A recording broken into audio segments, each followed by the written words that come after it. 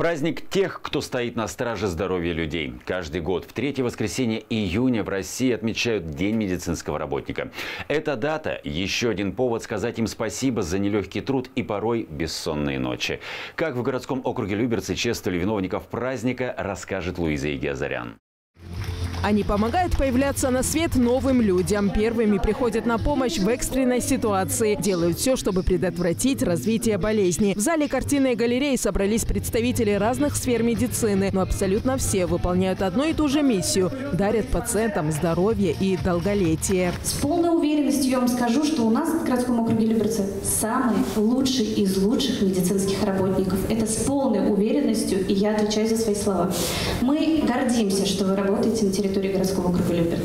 Большое количество наград, которые вручили медицинским работникам, тому доказательства. Ряд врачей и медсестер получили знаки отличия и почетные грамоты главы городского округа Люберцы. Прежде всего отметили труд тех, кто носит высокое звание медика уже не один десяток лет.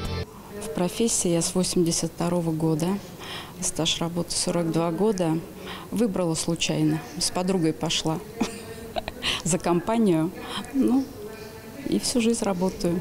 Пять медицинских работников получили в преддверии профессионального праздника сертификаты на квартиры по коммерческому найму. Ну, честно, я сама не ожидала, тем более еще двухкомнатная. Вот. Э, ну, добивалась, просила много, то, что своего жилья как бы нет. Вот. Ну, наконец, сбывается как бы мечта.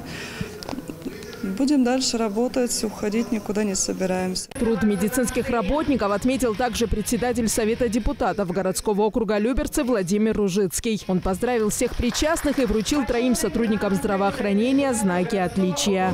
Люди в белых халатах твою жизнь охраняли от бед. Луиза Игиазарян, Сергей Гвоздев, телеканал ЛРТ.